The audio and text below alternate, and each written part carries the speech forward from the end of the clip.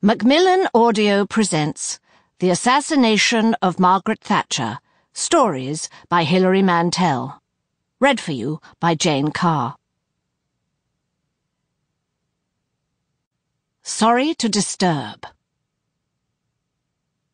In those days, the doorbell didn't ring often, and if it did, I would draw back into the body of the house. Only at a persistent ring would I creep over the carpets and make my way to the front door with its spy hole. We were big on bolts and shutters, deadlocks and mortices, safety chains and windows that were high and barred. Through the spy hole I saw a distraught man in a crumpled silver-grey suit, thirties, Asian. He had dropped back from the door and was looking about him at the closed and locked door opposite and up the dusty marble stairs.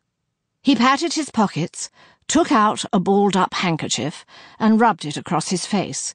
He looked so fraught that his sweat could have been tears. I opened the door. At once he raised his hands, as if to show he was unarmed, his handkerchief dropping like a white flag. Madam, Ghastly pale I must have looked under the light that dappled the tiled walls with swinging shadows. But then he took a breath, tugged at his creased jacket, ran a hand through his hair, and conjured up his business card. Mohammed Ijaz, Import-export. I am so sorry to disturb your afternoon. I am totally lost. Would you permit use of your telephone? I stood aside to let him in. No doubt I smiled. Given what would ensue, I must suppose I did. Of course, if it's working today. I walked ahead and he followed, talking. An important deal. He had almost closed it. Visit to client in person necessary. Time. He worked up his sleeve and consulted a fake Rolex. Time running out. He had the address. Again, he patted his pockets. But the office is not where it should be. He spoke into the telephone in rapid Arabic, fluent, aggressive, his eyebrows shooting up. Finally, shaking his head, he put down the receiver, looked at it in regret, then up at me with a sour smile. Weak mouth, I thought. Almost a handsome man, but not. Slim, sallow, easily thrown. I am in your debt, madam, he said. Now I must dash. I wanted to offer him a what? Bathroom break? Comfort stop? I had no idea how to phrase it. The absurd phrase, wash and brush up, came into my mind. But he was already heading for the door. Though from the way the call had concluded, I thought that they might not be so keen to see him at his destination as he was to see them. This crazy city, he said. They are always digging up the streets and moving them. I am so sorry to break in on your privacy. In the hall, he darted another glance around and up the stairs. Only the British will ever help you.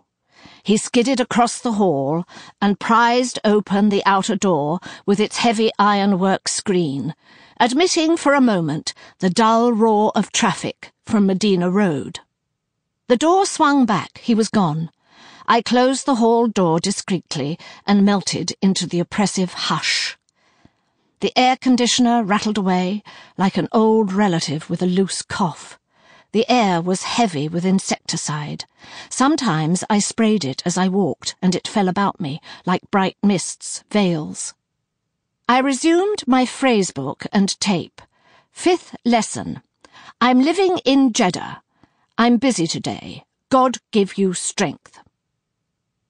When my husband came home in the afternoon, I told him a lost man was here, Pakistani businessman. I let him in to phone. My husband was silent. The air conditioner hacked away. He walked into the shower, having evicted the cockroaches, walked out again, dripping, naked, lay on the bed, stared at the ceiling. Next day, I swept the business card into a bin. In the afternoon, the doorbell rang again.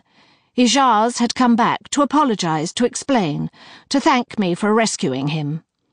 I made him some instant coffee and he sat down and told me about himself. It was then June 1983. I had been in Saudi Arabia for six months. My Sample complete. Ready to continue?